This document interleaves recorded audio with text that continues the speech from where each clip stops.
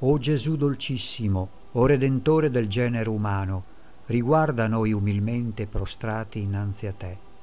Noi siamo tuoi e tuoi vogliamo essere, e per vivere a te più strettamente congiunti, ecco che ognuno di noi oggi spontaneamente si consacra al tuo sacratissimo cuore. Molti purtroppo non ti conobbero mai, disprezzando i tuoi comandamenti, ti ripudiarono.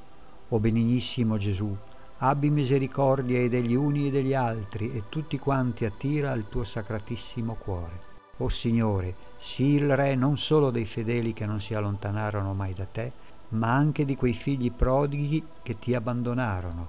Fa che questi quanto prima ritornino alla casa paterna, per non morire di miseria e di fame. Sii il Re di coloro che vivono nell'inganno e nell'errore, o per discordia da te separati richiamali al porto della verità, all'unità della fede, affinché in breve si faccia un solo vile sotto un solo pastore.